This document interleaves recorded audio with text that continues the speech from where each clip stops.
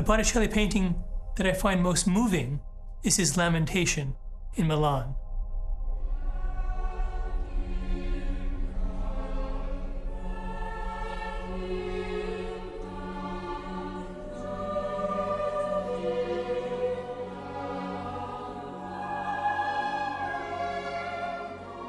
One extraordinary quality is how all the figures are moved to the foreground.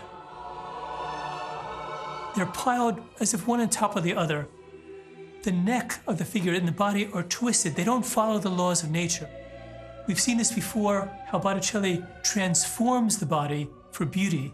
And here, he distorts the body in order to convey the sense of grief of Christ's followers.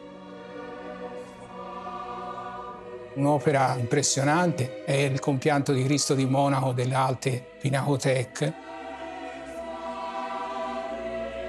C'è questo giovane Cristo in berbe, morto, di un colore cereo, in grembo alla madre che è svenuta e che viene consolata da San Giovanni Evangelista.